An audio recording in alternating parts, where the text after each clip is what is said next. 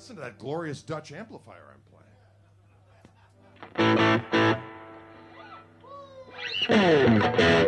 playing.